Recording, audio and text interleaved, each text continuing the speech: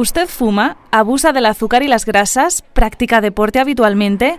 Con las respuestas a estas y otras preguntas, las enfermeras pueden calcular el riesgo que una persona tiene de padecer un infarto en los próximos años. Lo que hacemos es, eh, a la población que está entre 40 y 65 años, le calculamos su riesgo cardiovascular, preguntarles si fuman, eh, tomarles la tensión y mirar sus cifras de colesterol.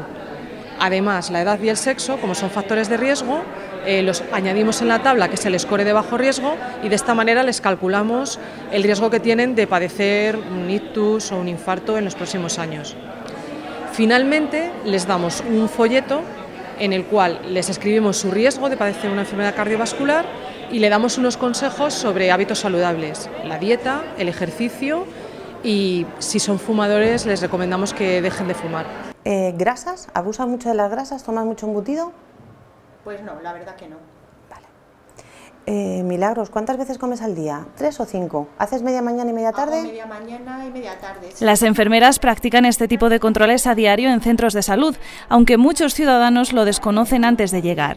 El papel de la enfermera en la prevención del riesgo cardiovascular está muy definido. Sobre todo el tomar la tensión, el, el detectar el estilo de vida del paciente y en motivarle en el cambio. Ese es el gran reto de la enfermería, motivar para cambiar el estilo de vida.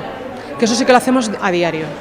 Eh, motivando a los pacientes para dejar de fumar, para que hagan una dieta más saludable y además hacemos un seguimiento en las consultas, les vamos citando. Un trabajo que da sus frutos. Los mensajes de las enfermeras calan en los pacientes. Yo hago dos días en semana eh, clase de mantenimiento, alternando fitness, eh, steak, o sea, hacemos distintas formas de, de mantenimiento. Tampoco fumo, eh, beber tampoco consumo alcohol y luego, bueno, pues mi, mi trabajo también es un trabajo que requiere de ejercicio físico, porque trabajo cuatro horas, pero corriendo y de forma, o sea, que, que estoy no sedentaria, no estoy sentada. Sanidad recuerda que está demostrado que la mayoría de enfermedades cardiovasculares podrían prevenirse con un estilo de vida saludable.